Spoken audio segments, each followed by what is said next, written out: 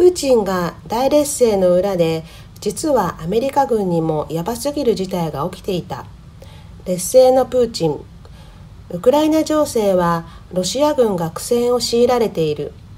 しかし事態は楽観視できるほどには至っていない。アメリカ軍が深刻な兵員不足に直面しているからだ。ロシア軍のスロビキン総司令官は10月18日併合を宣言したウクライナ南部ヘルソン州について非常に困難な状況にあると述べウクライナ軍の反転攻勢に苦戦していることを初めて認めたプーチン大統領も翌19日併合を宣言したウクライナ東南部4州に戒厳令を導入するなど戦時体制の強化を余儀なくされている。ロシアがイラン、ベラルーシなどの友好国の支援に頼る現状も明らかになっている。イランから導入した自爆型の無人機ドローンでウクライナの首都キーウを爆撃するとともにベラルーシに多数の兵士を送って合同部隊を編成する動きを見せている。ウクライナに多額の軍事支援を行っているバイデン米大統領は19日にプーチン大統領は極めて困難な状況にあると述べロシアとの戦いに確かな手応えを感じている。ロシアに圧倒的に不利な状況となってきたが米国側にも深刻な問題が生じていることはあまり知られていない。兵士のリクルート不足。米国はこれまでに168億ドル以上の軍事支援を行ってきたがそのせいで国内の武器の在庫が枯渇する事態となっている。不足する武器などの中にはウクライナ軍がロシア軍の首都キーウ占領を阻止するために使用した対戦車ミサイルジャベリンや東部南部で現在進めている反攻作戦で重要な役割を果たしている高機動ロケット砲システムハイマースなどが含まれている。このため数ヶ月以内にウクライナ軍の戦闘能力は著しく低下することが危惧されており今後ロシアが優位になる可能性が指摘され始めている。米軍が抱える問題は武器の在庫不足だけではない。米国内では今深刻な労働力不足が起きているがこれが軍も例外ではないのだ。米陸軍は9月30日今年の採用目標に対して25%約1万5000人の兵士が不足していると発表した。海軍や空軍などの採用状況もよろしくないという。米国はベトナム戦争から撤退した1973年に兵員の確保を徴兵制から志願制に移行した。その後半世紀にわたり米軍はこのシステムの下で必要な兵員を何とか確保してきたが必要な数の若者を集めることができなくなっている。深刻な事態を目の当たりにしたオースティン米国防長官は米軍の戦闘能力が直接脅かされる恐れがある。と警告を発する事態となっているが米軍はなぜ深刻な兵士不足に陥りつつあるのだろうか。トップガンマーベリックも効果なし。米軍のエリートパイロット養成校を舞台とするアクション映画「トップガンマーベリック」が日本を含め世界各国で大ヒットしている。前作が公開された1986年米国では軍へ入隊を希望する若者が相次いだ。空軍をはじめ米軍全体の採用活動は好調だったが今回プラスの効果が全く現れていない。若者の軍隊に対するイメージが悪化していることが大きく影響している。米国防総省によれば入隊の意思を持つ若者は全体のわずか9%に過ぎない。この数値は2007年以降で最も低くなっている。若者の半数以上が兵役後自分は感情的心理的な問題を抱えるだろうと懸念している。米軍関係者の自殺が21世紀に入り急増しているからだ。2001年の同時多発テロ後のアフガニスタン戦争やイラク戦争などで米軍の戦死者は7000人を超えるが自殺者はその4倍以上の3万人超にも上る。PTSD などの精神疾患などが主な要因だとされている。米軍の2021年の自殺者は1938年以降で最大となっており状況は悪化の一途をたどるばかりだ。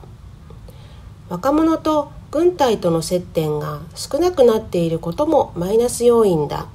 兵役経験がある親を持つ若者の割合は1995年に40%だったのに対し現在は13%に低下しており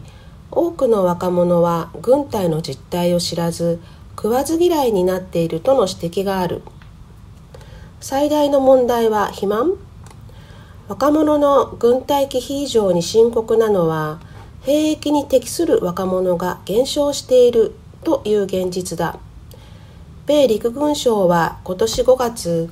17歳から24歳までの若者のうち兵役に就くことができる割合は23%に過ぎないことを明らかにした。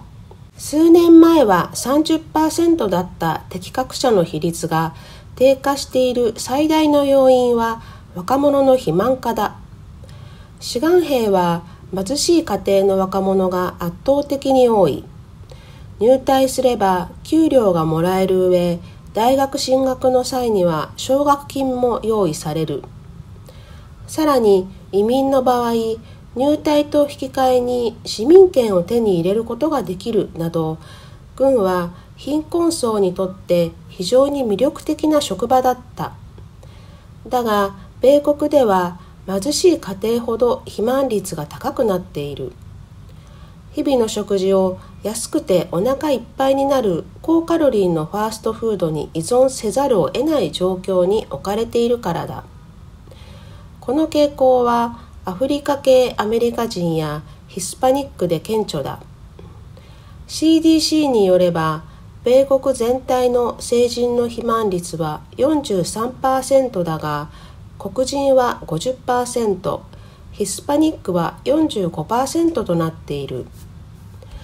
新兵に占めるアフリカ系アメリカ人やヒスパニックの比率が上昇していることから米軍にとって肥満が内なる敵となってしまっている。新兵の採用をめぐる危機的な状況を踏まえ米軍は肥満の若者でも採用できるようにするため入隊後に減量のための特別なプログラムを用意しているが効果のほどは定かではない。日本の有事対応力にも影響。かつての意向は消えつつあるものの米軍は今でも世界最強の軍隊であることに変わりはない。米軍は最新鋭兵器の配備に余念がないが必要な数の兵士を確保できなくなれば世界一の軍事力を維持することはできなくなってしまうだろう。同盟国である日本は米軍の窮状を真摯に受け止め自らの力で有事に対処するとの意識をこれまで以上に高めていくべきではないだろうか。さらに連載記事「プーチンに寝返りへ」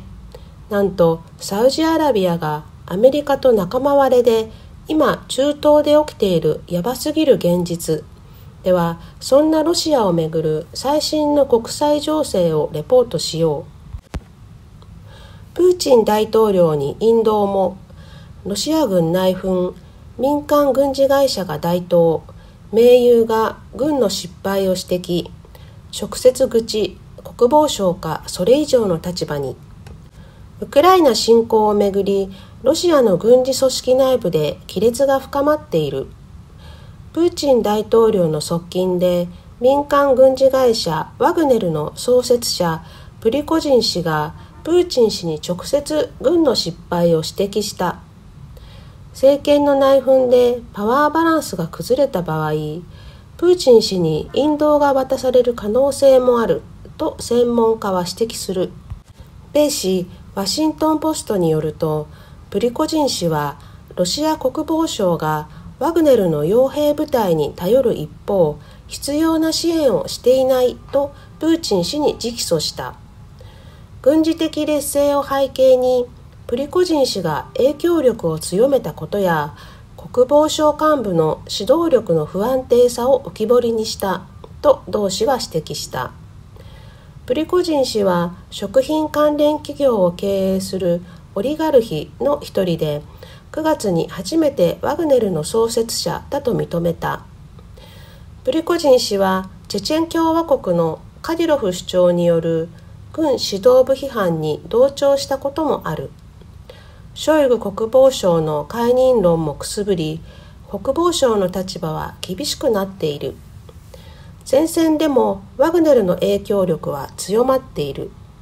ロシア軍の兵力不足を補うため受刑者を兵士として集めたり東部ドネツク州の戦略的要衝バフムトには同社の傭兵が投入されているという。南部ルガンスク州でもワグネル戦プリコジン戦と呼ばれる防御戦を構築しているとロシア独立系メディアメドゥーサが23日報じた。南部ヘルソン州の首都ヘルソン市ではロシア軍が撤退するとみられていたがロイター通信によるとウクライナ政府高官は最も激しい戦闘を警戒している。筑波大の中村逸郎名誉教授は